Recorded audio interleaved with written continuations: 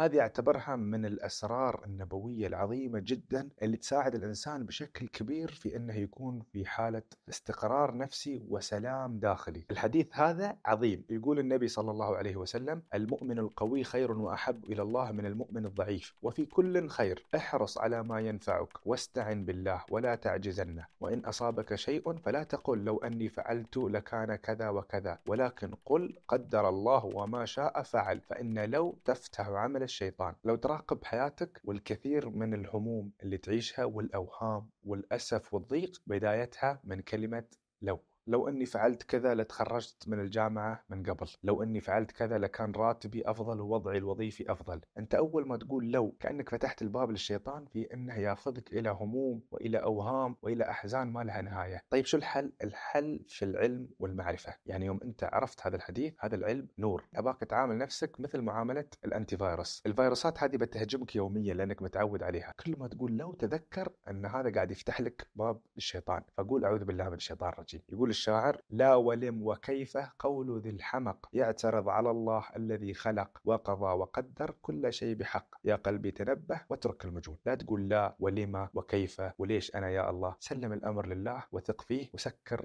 أبواب الشيطان.